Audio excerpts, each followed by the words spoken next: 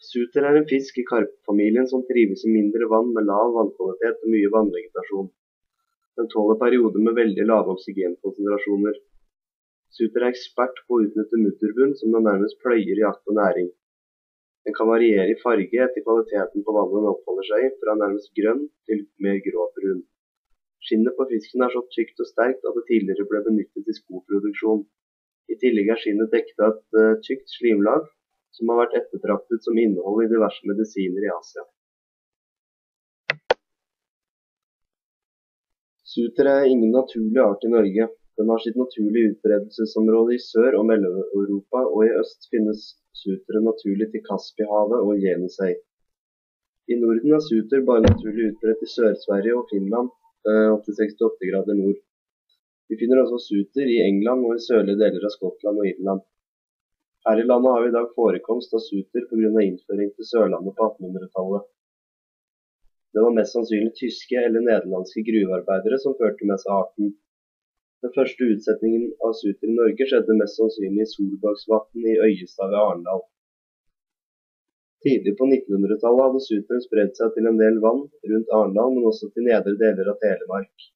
I dag regner vi med å ha suter i rundt 100 lokaliteter på Sørlandet, men pga. både aktiv og passiv spredning som fortsatt pågår, finner vi i dag suter også i vann i Grenlandsområdet, Østfold, Oslo og Akershus, i tillegg til enkelte vann i Hedmark.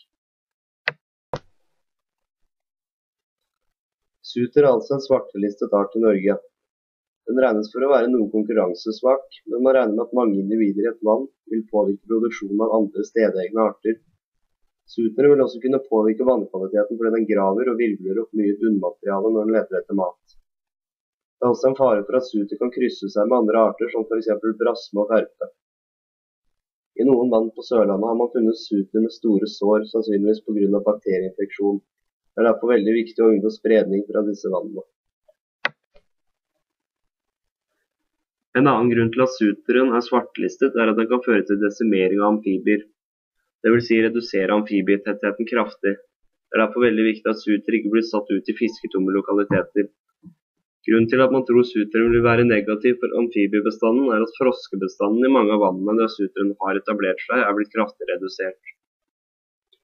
Et eksempel er en dam i Østfold der bestanden med salamandere nesten ble utryddet etter utsetting av suter. Det skal nok mye til å få fjernet denne karpearten nå som den finnes i såpass mange vann på Østlandet, men det må være et viktig tiltak å unngå videre spredning.